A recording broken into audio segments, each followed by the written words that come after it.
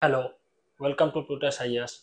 So today we are going to discuss about the graphical method to solve the LPP. That means linear programming problem to solve the linear programming problem by the graphical method.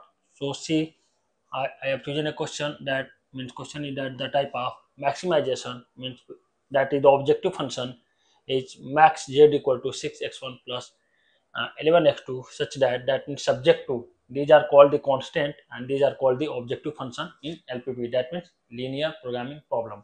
So that is the objective function. We have to maximize it under these constants so subject to this what will be the equations here actually?